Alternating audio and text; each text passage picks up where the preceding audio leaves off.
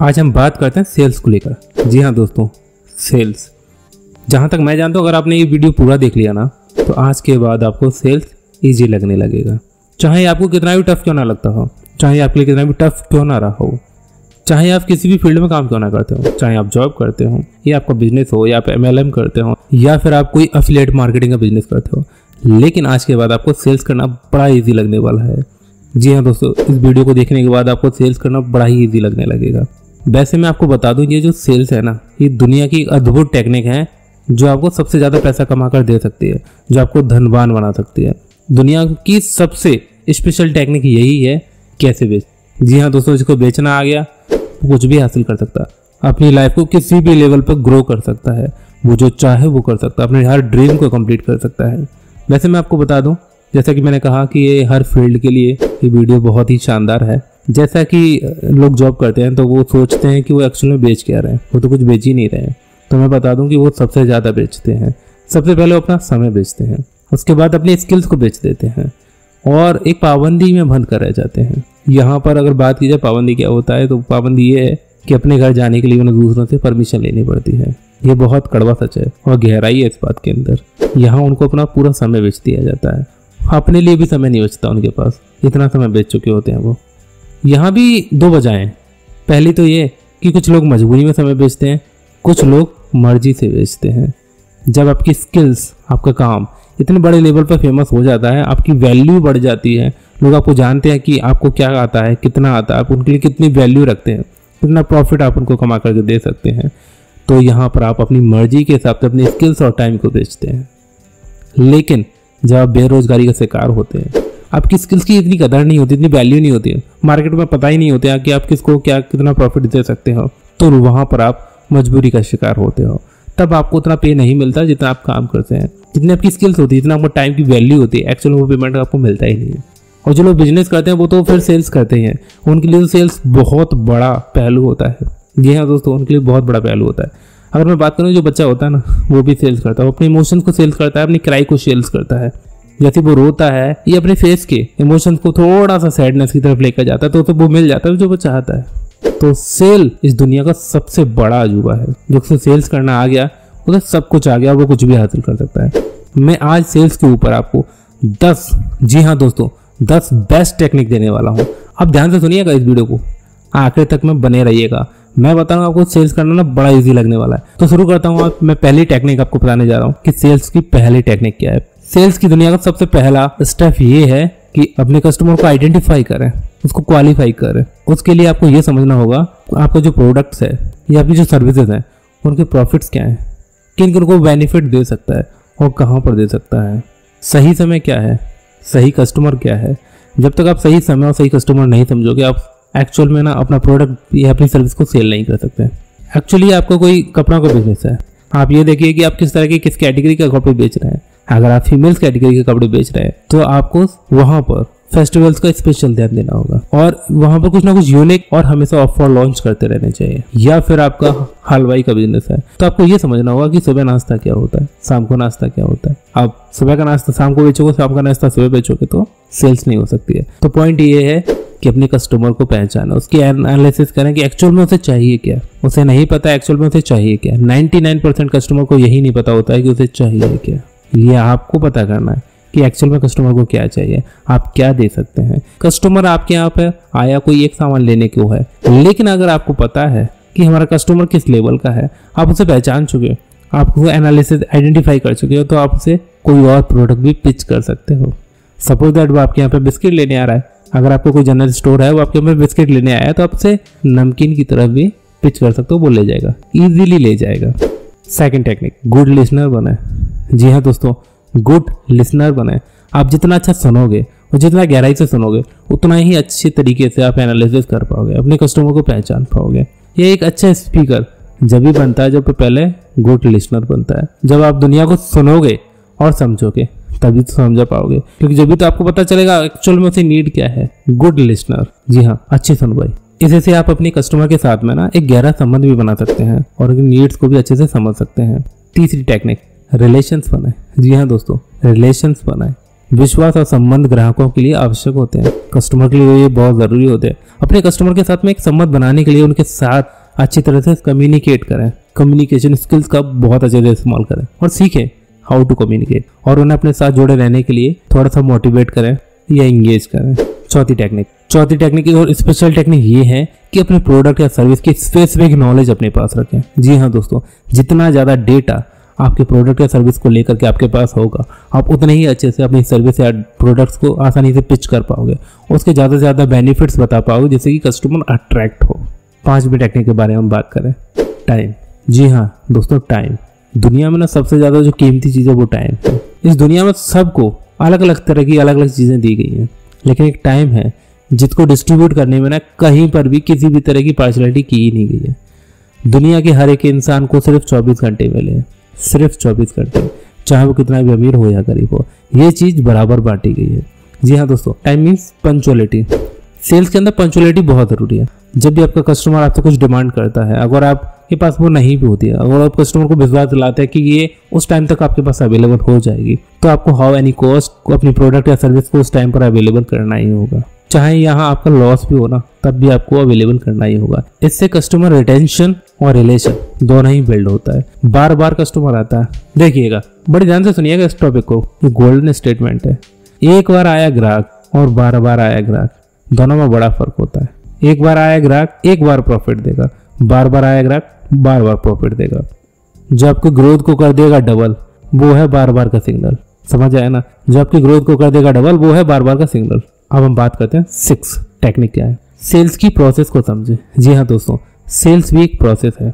इसकी प्रोसेस को हर एक छोटी छोटी बारीक स्टेप्स को समझना होगा। सबसे पहले, जब भी आप अपने कस्टमर से बात करें तो कुछ भी पिच ना करें। नॉर्मली उसका हाल चाल पूछें। हेलो हाई करें। अगर आप जनरल स्टोर पर हैं तो कोई भी कस्टमर आपके यहाँ पर आता है तो अगर आप उसे हेलो हाई करोगे तो थोड़ा सा अजीब होगा। लेकिन अगर वो कस्टमर बार बार आपके यहाँ आता है तो आप उसे हेलो हाई कर सकते हैं। और यही होता है, यही है सेल्स का प्रोसेस। फर्स्टली हेलो हाई करें, उसके अपने साथ इंटरेक्ट करें, एक प्यारी सी स्माइल दें, चाहे आपके अंदर कितना भी कुछ भी लोचा हो रहा हो। बट अपने कस्टमर के साथ पेशेंसफुली और स्माइल के साथ ही पेश आए। स्माइल के साथ ही उसे ट्रीट करें। समझें उसे कि वो किस मूड में है। उसके साथ भी उसे ट्रीट करें। उसका अगर मूड भी खराब होगा ना तो अगर हो सकता है कि स्माइल्स को देखकर कोई ठीक भी हो जाए। लेकिन बड़ा फ़र्क होता है देखकर मुस्कुराने में और मुस्कुरा करके देखने में। देख करके ना मुस्कुराना, मुस्कुरा करके देख। बातों के थोड़ा बदलने से ना अंजाम बदल जाते हैं। तो इसलिए कि मुस्कुराना कब है, ये भी थोड़ा सा लॉजिकली आपको सोचना है बस। लेकिन कस्टमर के साथ थोड़ा सा मुस्कुरा करके बिहेव कीजिए हेलो हाई भी कीजिए। थोड़ा कुछ पूछिए कि सर कैसे आना हुआ? और लाला जी कहाँ जा रहे हैं आप? अगर आपकी शॉप के सामने कोई निकल जाता ना तो पूछिए कि लाला जी कहाँ जा रहे हैं? शर्मा जी कैसे हो? कल जो प्रोडक्ट ले गए थे अच्छा है ना? हाँ चलिए मिलते रहेंगे। अगर आप इतना ही बोल देते हैं ना तो उसे लगता है कि ये मुझे जानता है। उसे लगता है कि मुझे जानता है और ये मुझे समझेगा। अगर वो बगल की शॉप पर भी जा रहा होगा ना कुछ लेने के लिए तो आपके यहाँ रुक जाएगा। सिर्फ़ इतना बोल देने से ही वो आपका कस्टमर है और आपसे कुछ ना कुछ लेकर चला जाएगा। तो ये है, क्या है ये? ये था सेल्स प्रोसेस को समझना। अगर यहीं पर आप एमएलएम में काम करते हैं, आप किसी एमएलएम कंपनी का काम कर रहे हैं तो तो पहले आप जब अपने किसी कस्टमर से मिले तो उसे हेलो हाई करें। एक शिष्टाचार के हिसाब से उसके साथ बात करें। पूछें कि उसकी लाइफ में क्या चल रहा है, उसकी फैमिली में क्या चल रहा है। बेसिक क्वेश्चन पूछें, उसकी पुरानी ज़िंदगी के बारे में पूछें।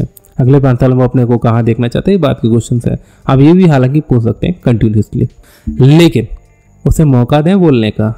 कोशिश करें कि वो आपके साथ खुले, मिले और खुलकर अपनी सारी बातें आपको बताएँ।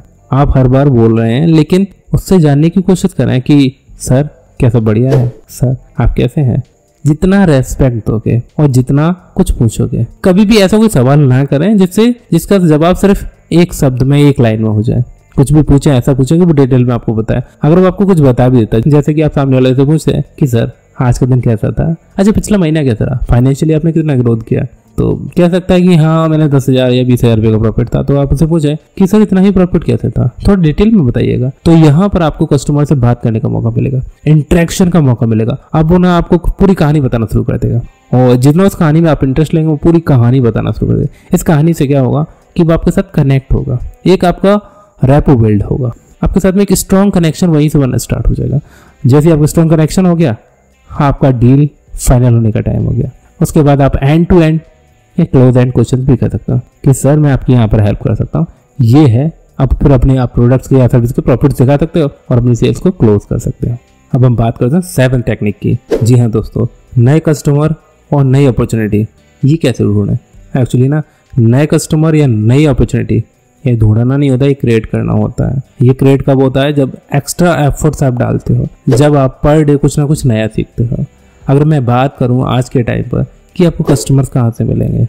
जी हाँ दोस्तों, आपकी बहुत बड़ी लिस्ट होती है, लेकिन वो छोटी कब हो जाती है पता नहीं चलता। आपके कस्टमर्स कब कंप्लीट हो जाते हैं पता नहीं चलता। नए कस्टमर्स को लाने में बहुत खर्चा होता है। बहुत सारे लोग अपना न्यूज़ पेपर में आर्टिकल्स देते हैं। कोई टेलीविज़न पर आर्टिकल्स दे रहा होता है, कोई वीडियोज़ दे रहा होता है, कोई एनिमेशन दे रहा होता है, कोई प्रोमो दे रहा होता है। हर जगह पर एड्स चलते रहते हैं। कोई सोशल मीडिया पर एड्स दे रहा होता है, हर जगह पर एड्स चल रहे होते हैं। लेकिन ये एड्स जो होते हैं ना, अच्छी चीज़ होती है और आपको नए नए कस्टमर भी मिल जाते हैं। लेकिन दो तरह के एड्स होते हैं। एक वो जो आप किसी से कराते हैं, एक वो जो खुद से होता है। Customer to customer customer to customer जो होता है ना, वो बेस्ट होता है। जब आपका फोकस क्वालिटी पे चलाएगा, आपकी प्रोडक्ट क्वालिटी आपकी सर्विस क्वालिटी जब बहुत ज़्यादा बेस्ट होगी ना तो आपका कस्टमर आपके लिए आपका ब्रांड एम्बेसडर बनेगा। आपका कस्टमर ही आपको आगे पिच करेगा। आपके प्रोडक्ट के लिए लड़ भी जाएगा अगर आपका कस्टमर आपका एडवोकेट तक बन जाएगा। तो ये होता है क्वालिटी यार। सर्विस क्वालिटी और प्रोडक्ट क्वालिटी और ये आपको बहुत अच्छा प्रमोटर और एडवोकेट भी बन जाता है। अगर आप अपने कस्टमर्स पे कंटिन्यूटी काम करते हैं ना तो वो आपका प्रमोटर और एडवोकेट तो बन ही जाता है और उनको कुछ एक्स्ट्रा ऑफ़र भी दे सकते हो और उनके लिए कुछ ना कुछ नया गिव अवे भी दे सकते हो, जो आपकी ग्रोथ को बूम ब्लास्ट तक कर सकता है। और आप भी सोशल मीडिया का इस्तेमाल कर सकते हैं। ये बहुत बेस्ट वे है अपने नए कस्टमर्स को अपने पास तक लाने का।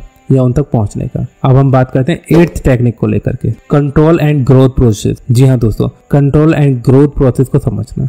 कि आपको ग्रोथ कैसे जा रही है और आपको कहाँ पर कंट्रोल करना है। जितने बेस्ट सेल्समैन होते हैं एजेंट्स होते हैं या कंपनी कॉर्नर्स होते हैं, वो खुद का एनालिसिस करते हैं, अपनी परफॉर्मेंस का एनालिसिस करते हैं कि आज उन्होंने कहाँ और कितना गड़बड़ की है। एनालिसिस कब होता है? जब वो अपनी हर एक्टिविटी को नोट डाउन करते हैं।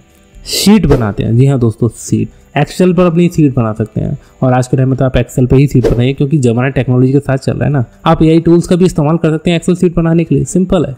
अपनी एक्सेल सीट बताइए, अपनी एक्सेल सीट बनाइए, जिसमें आपका टाइम का भी सिस्टम होना चाहिए कि आपने कहाँ टाइम कितना, कब लगाया, आपने कोई भी नई स्किल्स कहाँ सीखी, कितनी सीखी, कितना टाइम दिया, और आज आपने कहाँ पर कितना काम किया एक्चुअल में आपने कितना काम किया, कितना प्रोडक्टिव टाइम था, कितना अनप्रोडक्टिव टाइम था, और आपने कितना सीखा, कितना नहीं सीखा, कहाँ कमी थी, कहाँ कमी नहीं थी। जब तक आप खुद का एनालिसिस नहीं करेंगे, आप बेस्ट सेल्समैन नहीं बन सकते। आपको पर डे नाइट में एक और सोने से पहले खुद की एनालिसिस करनी होगी और नेक्स्ट डे की प्लानिंग करनी होगी। जी हाँ दोस्तों, ये होता है कंट्रोल एंड ग्रोथ प्रोसेस को समझना। अब हम बात करते हैं, जी हाँ दोस्तों नाइन्थ टेक्निक को लेकर के। डिसेंट्रलाइजेशन ये क्या होता है? ये डिसेंट्रलाइजेशन होता है, जैसे कि हम अपने ही डिपार्टमेंट से आप किसी कंपनी को ऑनर हो, या छोटा सा शॉप चलाते हो, कुछ भी हो एनीथिंग एल्स तो कई बार चीज़ें यहाँ की वहाँ रखी होती हैं, वहाँ की यहाँ रखी होती है। आपको कई बार ध्यान नहीं रहता है कि हमारी कोई सर्विस है तो वो हमारे पास है भी कि नहीं है। हम उसे एक्टिवली पिच कर रहे हैं कि नहीं कर रहे हैं, अपने किसी प्रोडक्ट पर एक्टिवली काम कर रहे हैं कि नहीं कर रहे हैं। अब किसी शॉप के अंदर कहीं पड़ा हुआ है, या डिजिटल फ़ील्ड में जो भी हमारा ड्राइव से कहीं कोई चीज़ पड़ी हुई तो डिसेंट्रलाइजेशन है कभी उनको जगह उनकी एक्सचेंज कीजिए जो चीज़ें आपको ज़्यादातर इस्तेमाल में रहती हैं, आँखों के सामने रहती हैं, उनको बिहाइंड द सीन कीजिए। जो चीज़ें आपकी आँखों के सामने नहीं है, उन्हें आँखों के सामने लाइए। क्योंकि जो चीज़ें आपको याद है, आप उन्हें अंदर से बाहर निकाल ही लोगे, लेकिन जो आपको याद ही नहीं है, उन्हें कैसे निकालोगे? तो जगह एक्सचेंज करना जस्ट लाइक डिसेंट्रलाइजेशन उनकी जगह को एक्सचेंज कीजिए। और डिपार्टमेंट में कई बार लोगों को भी शिफ्ट करना होता है इधर से उधर। डिपार्टमेंट लोगों को शिफ्ट करने का मतलब ये नहीं होता है कि पूरा डिपार्टमेंट ही शिफ्ट कर दिया वन बाई वन आप लोगों को इधर से उधर शिफ्ट करके के आप यूनिक तरीके से अपने प्रोडक्ट एंड सर्विस के बारे में पता लगा सकते हैं। जी हाँ दोस्तों, ये होता है डिसेंट्रलाइजेशन जो एक अच्छे बिज़नेस को मेंटेन करने में बहुत हेल्प करता है। अब हम बात करते हैं टेंथ टेक्निक जी हाँ लास्ट टेंथ टेक्निक को लेकर के। The great utilisation of time जी हाँ दोस्त ग्रेट यूटिलाइजेशन ऑफ़ टाइम यहाँ पर हम बात करते हैं कि जो एक अच्छा सेल्समैन होता है या एजेंट होता है या कंपनी का ऑनर होता है या अच्छा एग्जीक्यूटिव ऑफिसर होता है, वो अपने टाइम का हमेशा, वो अपने टाइम का हमेशा सदुपयोग करता है। अपने टाइम की हमेशा वैल्यू करता है, क्योंकि टाइम इज़ मनी मैं आपको बता दूँ टाइम इज़ मनी नहीं है। Time is more than money time जो है, वो पैसे से भी बढ़कर है। पैसे से आप अपना समय नहीं खरीद सकते। जो समय जा चुका है, वो जा चुका है। वो पैसे से कभी खरीद ही नहीं सकते। आपको ये समझना होगा कि कस्टमर को किस टाइम पर उसे क्या चाहिए और क्या नहीं चाहिए। जैसे कि किसी के अकाउंट में सैलरी आती है। जी हाँ दोस्तों नॉर्मली इन इंडिया हो सैलरी डे डिसाइडेड है सात तारीख। अगर आठ तारीख को नौ तारीख को आप उसको बढ़िया बढ़िया चीज़ें दिखाते हैं तो आपकी सेल्स इजीली हो जाएगी। जैसे कि अगर मैं बात करूँ फ़ूड की या फ़ूड सर्विस को लेकर के। जोमेटो है स्विगी है, जो उनके यूज़र्स होते हैं, ये इन डेट्स में बड़ी बड़ी इन डेट्स में बड़ी बड़ी डिशेज और बड़ी बड़ी थाली राज थाली राजशाही थाली रॉयल थाली रॉयल फ़ूड महँगी महँगी चीज़ों का इनको दिखावा करते हैं। इनको शो ऑफ़ करते हैं। और इनको अट्रैक्ट होता है, ये इस्तेमाल कर लेते हैं। लेकिन वही मंथ का लास्ट चल रहा होता है तो पता है कि भाई इसकी पॉकेट खाली है। अब इसको राजभोग नहीं दिखाना है। अब उसको सिंपल थाली दिखानी है। दो पराठे दिखाने हैं। मतलब कि किस समय पर क्या दिखाना है। ये होता है टाइम का बेस्ट यूटिलाइजेशन टाइम का बेस्ट एनालिसिस सही समय पर सही संदेश देना। ये सबसे बड़ी रणनीति होती है सेल्स को लेकर के। जहाँ तक मैं जानता हूँ दोस्तों, आज के बाद सेल्स करना आपके लिए काफ़ी इजी हो सकता है। अगर आपने ये सीख लिया हो तो। देखिए दोस्तों, किसी भी ज्ञान को सिर्फ़ लेने मात्र से या जानने मात्र से कुछ नहीं होगा। ज्ञान को अप्लाई करना होता है नॉलेज को अप्लाई करना होता है। कोई भी रूल्स आपने सीखा है, वो रूल्स जब तक कारगर नहीं है, जब तक आप उसको इम्प्लीमेंट नहीं करते हो। आपने जो भी इस वीडियो से सीखा हो उसे अपनी लाइफ में इम्प्लीमेंट कीजिएगा, तभी आपकी ग्रोथ होगी। मैं अंकित, आपके सपनों को पूरी तरह से सपोर्ट करता हूँ। और हाँ अगर ये कंटेंट आपको पसंद आया है, जहाँ तक मैं जानता हूँ ये कंटेंट सच में आपको पसंद आया होगा तो इसे आप अपनों के साथ ज़रूर शेयर कीजिएगा। क्योंकि जब आप किसी की लाइफ में वैल्यू एड करते हो ना तो मैं आपको बता दूँ, संसार में आपको उससे भी ज़्यादा मिलने वाला है। जब आप किसी की लाइफ में वैल्यू ऐड करोगे एक्चुअली मैं आपको बता दूँ वैल्यू ऐड करना भी एक सेल्स का हिस्सा है। अगर आप किसी की लाइफ में वैल्यू ऐड कर रहे हो, अगर उसे लग रहा है कि आप सच में उसकी लाइफ में कोई वैल्यू ऐड कर रहे हो, आप उसे कुछ अच्छा दे रहे हो तो नो डाउट वो आपके साथ ट्वीट बनाएगा। आप पर बिलीव करेगा। Thank you for watching this video आपने आखिर तक इस वीडियो को देखा, उसके लिए बहुत बहुत धन्यवाद, क्योंकि कई बार होता है ना, लोग बीच में वीडियो देख, छोड़ के चले जाते हैं। उन्हें वो सब नहीं मिल पाता। एक्चुअली जो लोग वीडियो बीच में छोड़ के जाते हैं ना, वो रील सीखने वाले होते हैं एंटरटेनिंग वाले होते हैं। उन्हें नहीं समझ में आता कि ज़िंदगी क्या है। एक्चुअली उन्हें यही नहीं पता होता है कि उन्हें चाहिए क्या है।